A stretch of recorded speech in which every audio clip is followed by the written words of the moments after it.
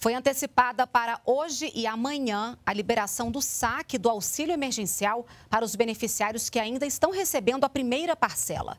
Nesses dois dias, terão acesso ao dinheiro os nascidos entre julho e dezembro.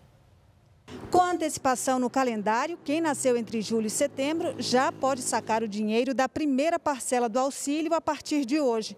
Amanhã será a vez dos que fazem aniversário entre outubro e dezembro. Ao todo, 2 milhões e 400 mil pessoas que aguardavam desde maio a análise do cadastro vão poder sacar pela primeira vez o benefício, como a diarista Lucivane, que está na lista de contemplados. Com a antecipação agora, nossa, eu quase.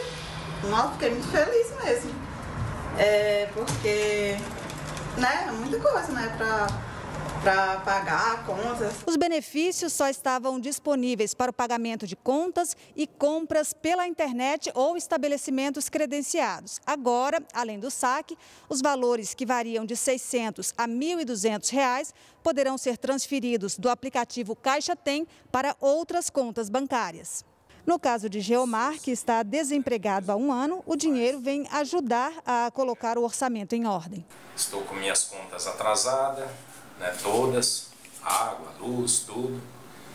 Então acho que isso veio uma boa hora.